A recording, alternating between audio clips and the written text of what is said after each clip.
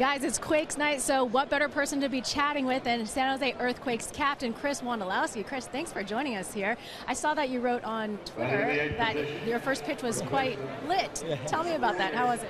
Yeah, I was excited. Got over the plate. Uh, I think it was a strike, depending on them's call. But uh, yeah, I was uh, excited and bounced it though.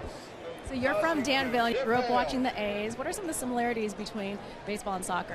Yeah, one of the things I really enjoy about it is that you have to, uh, you know, you play against your opponent and you have to try to find uh, some of your strengths and utilize those and uh, try to maximize those to the best of your ability. And what do you think about Dave Kaval's mission to find the A's a new ballpark?